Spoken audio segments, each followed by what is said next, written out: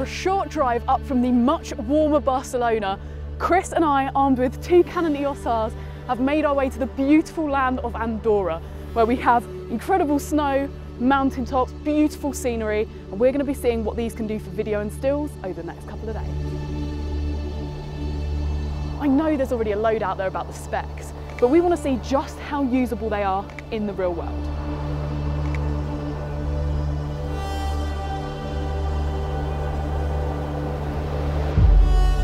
It's incredibly early here and very, very cold. We're now heading out with the EOS Rs up to the other side of Andorra where we're hoping we're going to see a fantastic sunrise.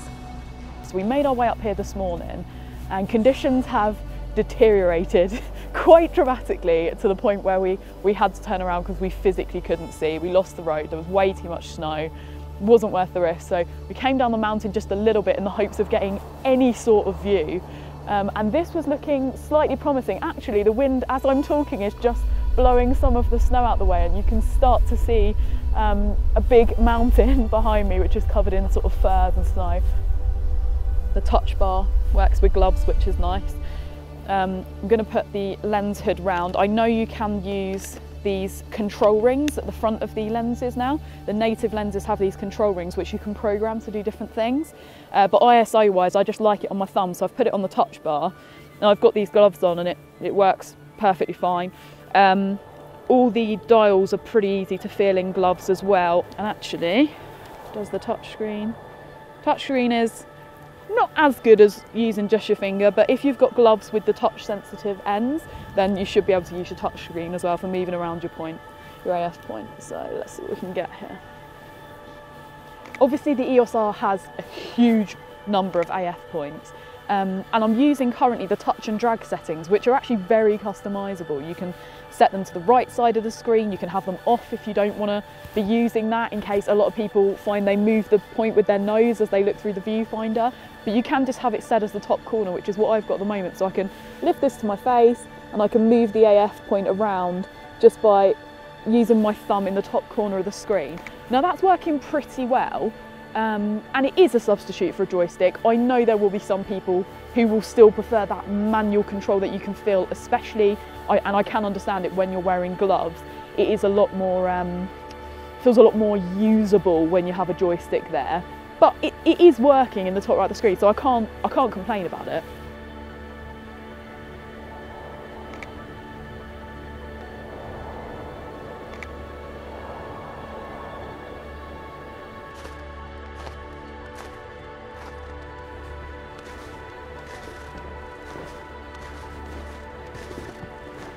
Knackering, isn't it, walking in snow? Oh, I'm done. Been here two hours.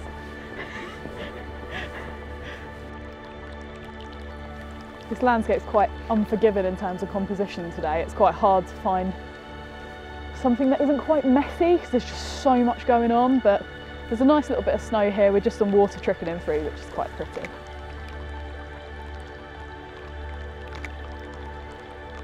Okay, so I'm currently set up next to this raging river below me um, and Kriss is going to jump over it so that I can test the burst rate of the EOS R. So I think we can get 8 frames per second on this. Um, we don't really need continuous focus because I know exactly where he's going to be. We've already planned out the shot. So, Kriss, whenever you're ready, you go ahead and jump.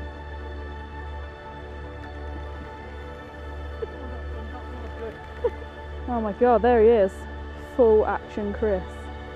I can't wait to pop that up on screen.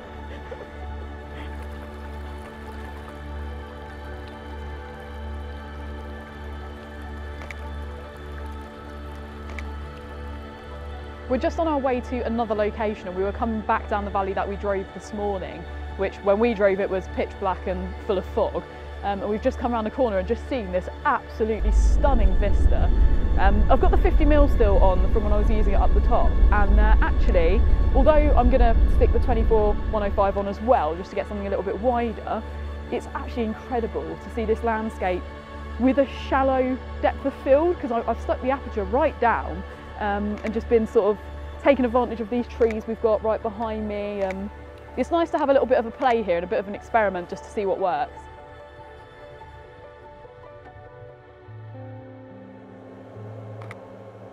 We've headed up to one of the Vallnord resorts, Pal Arinsal I think it's called, and it's so empty here. It's actually a little bit eerie. They've got all the snow machines going on the slopes to get it ready. All the places still being built, there's new things being delivered, but it's so empty. And actually it's a really nice chance to get some images that you just couldn't get if you came here during ski season. The snow has really started coming down now. It is exceedingly pretty. So we've come to this little valley. There's a beautiful little stream. There's a sort of waterfall over there. We're going to try and get some pictures here, which we can because the EOS Rs are weather sealed, so that's great. Another really, really good feature, we were just changing lenses sort of in the car but with the doors open. And this snow is really driving from the side. And normally with mirrorless cameras, when you're changing lenses, you have to be so, so careful. Whereas the EOS R has a really neat little feature. I'm gonna turn my back to snow because I'm not that brave. When you take the lens off, you still have your shutter over the sensor itself.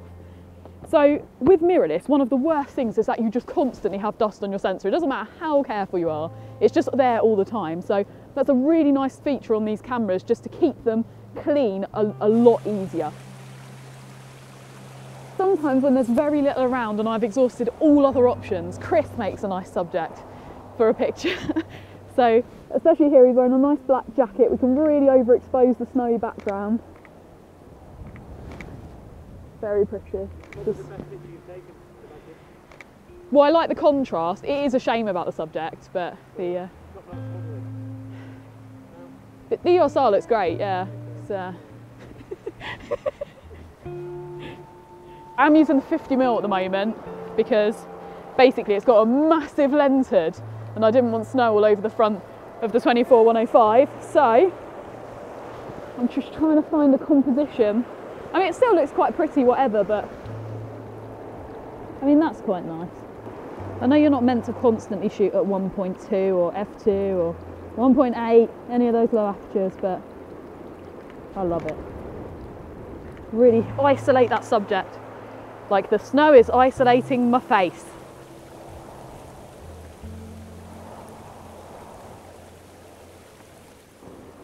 I was actually moaning a little bit off camera earlier to Kriss about this screen because I quite like working quickly and sometimes nice to just flip a screen up really, really quickly instead of getting it out, turn it round, or getting the angle you want. And sometimes it's hard to line it up, especially if you happen to use it at an angle. But on the other hand, I also, walking around here, there's lots of rocks.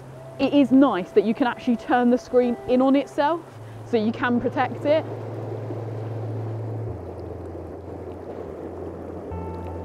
It's very, very pretty. Oh God, I'm cramping. Be very, very nice for portraits, this lens, really nice. It is large. I mean, there's no doubt in that. It's big for a 50mm, but it is 1.2. Half of the size of it right now is its giant lens hood, which is very useful. And um, if it performs, then, you know, you don't always have to worry about the size.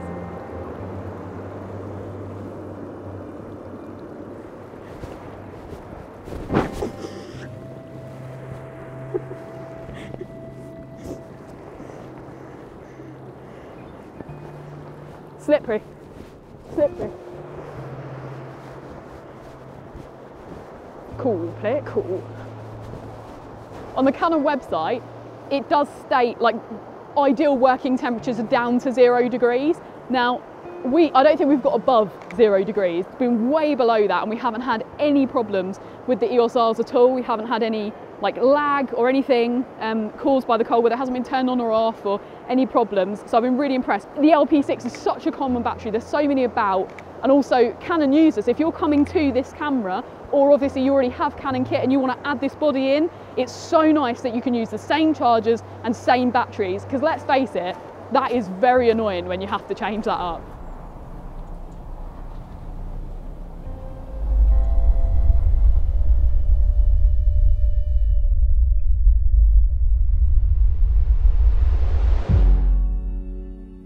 This morning we actually have a sunrise.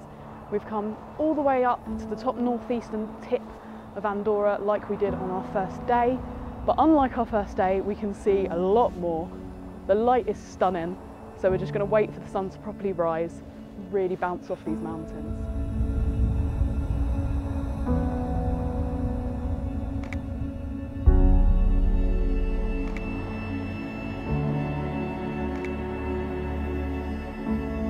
Sun's come up quite a bit behind us now, and these peaks in front of us, because of the snow we had yesterday, are very reflective. So they have gone incredibly white, and because the valley is very fir lined, which comes out incredibly dark, um, we've got a huge sort of set of dynamic range here.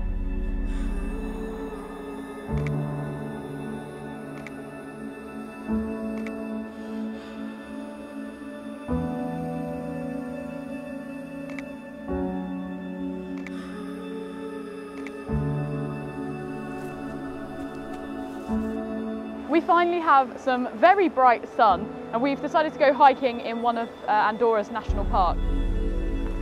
We have finally made it to Ramio.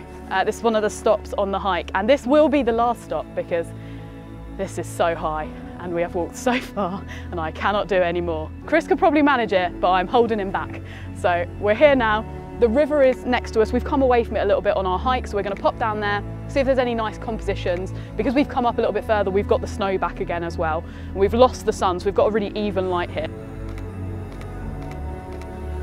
There's another eagle flying over. Um, it's really easy to get it with my 105 lens. There are times when you wish you'd carried a 600 mm but I'm sure on the slope I would have said the opposite thing.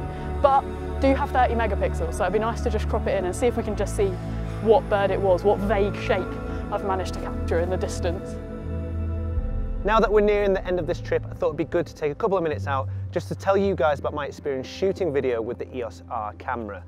Now, of course, when the specs came out for this camera, to be honest, I wasn't that blown away by it. I thought it was a bit of a letdown. So when I came here to Andorra to shoot with this, really for the first time, I was kind of expecting to hate it. Now, you know, after a few days, that's not really the case. I actually quite like shooting with it, I'll tell you why. But before I do, I just want to address some of the big issues for me. First of all, it's a full frame camera, great. But when you switch it into 4K, you automatically get a crop mode. It's about 1.7 times crop, so that 24 to 105 obviously shifts. You're shooting at a much longer focal length. So getting wide shots is a bit more of a hassle. But if you plan for it, of course, you, you, shoot with wider glass, and obviously you can work around it. It just takes some getting used to. Once you know the limitations, you work with it. Now number two, slow motion. It doesn't really have any capable slow motion features in there. In 4K, you can go up to 30 frames a second. Realistically, you're gonna be shooting at 25 in PAL. If you want any slow motion, you have to go down to 1080p, and that's only twice, two times slow motion, 1080, 50 frames a second. If you want what I would consider the first real bit of slow motion, you need to drop down to 720p and you get 100 frames a second in PAL again. But let's face it guys, who is shooting in 720p in this day and age? Definitely not me anyway. The last one that I want to say is that there's no in-body stabilization in this camera. So when you're shooting with the 24 to 105, this is optically stabilized. So, you know, I can get around that, it's very forgiving. But if you put that 16 to 35 mm lens that isn't optically stabilized or any prime lenses, you are going to get that micro jitter when you're shooting handheld. So you need to make sure that you're either sticking it on a tripod or using a gimbal or some sort of support that's going to take away that micro jitter. So that's the bad. Let's move on to the good because there are some really good features to this camera too. Now the body, the body is built like a tank. It feels great to hold, it is solid, and it is weather sealed. Battery life is very impressive. I've only used two batteries for the full day shoot yesterday filming in 4K. Now, you know, you compare that to some other brands without saying any names, and I'd have, I'd have to use so many more batteries, especially in this cold weather, so a big thumbs up for that as well. I also really like the articulating screen. It's great when you're getting low and high shots, or if you want to do any vlogging, then it's very useful to have, but of course you will need to drop it down into HD to get around that cropping if you are going to do some vlogging. Or you have a very, very long hand. And the big one for me, the Canon Color Science with 4K video capabilities. You know, Canon Color Science it is loved everywhere. It's what Canon are known for, especially in video. So it's wonderful to have that back. Now it's 8-bit internally, but if you stick an external recorder on that, you can record 10-bit. Now what tops that off is having dual pixel autofocus as well. You know, I don't really put a lot of faith in autofocus in any other brands other than the Canon's dual pixel autofocus. And it really does lock on. I've been filming Amy you know, for the majority of this trip. I have been using, I'd probably say 60% of the time, the autofocus. If you've got a Canon Cinema EOS camera, the C100, 200, C300, and this camera is going to make a very, very good B camera because with that crop in 4K, you've basically got a Super 35mm field of view, which is going to be very similar to what you're shooting on with those cinema cameras. You've got C-Log, and you've also got the ability to record 10-bit externally. So the two are going to really match very well. The good thing about traveling with a videographer is you can be super lazy because they always bring a tripod and they always have ND filters. So I've nicked all Kriss's stuff, set up here next to this stream. I've got a little bit of this pool in front of me. I'm gonna do a long exposure um, and just see how that looks. I haven't got a remote um, and you don't really need one. I've set it on a self timer of two seconds, just so that when I press the shutter, obviously I can take my hands off, it'll be completely still when it starts to take the image.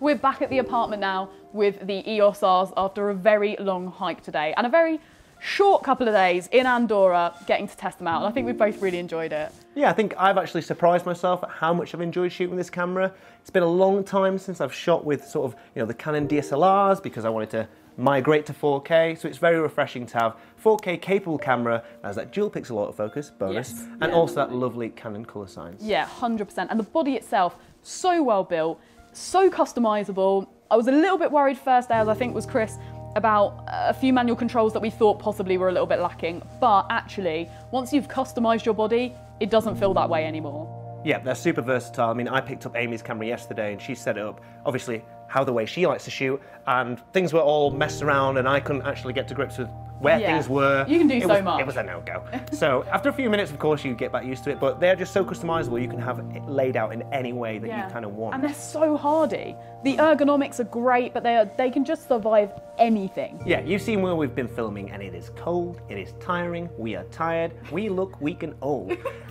but the cameras look amazing, they look Yeah, brand new. they look and, new. you know, I'd like to say that we haven't been sort of like, because these cameras aren't ours, we haven't been as, let's say, as careful as we would have been if they fair. were ours for testing purposes, obviously. Yes, professional purposes. Yeah, and they have withstand, withstand, withstood pretty much everything that we've thrown at them, apart from that rock on the lens. But sorry, Canon. Yeah. No, I'm just joking. Just joking. They've been through everything. I mean, we've had so much snow. Yesterday Yeah. was appalling. It was this morning minus eight, I think we got down to, and we just had no loss of functionality.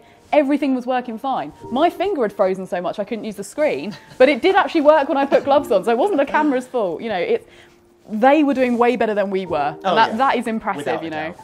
But of course, we can only fit in so much information in this video because we only have you for a short period of time because you're so fickle, you keep going elsewhere. Stay here, stay with us. Why do you want to leave us?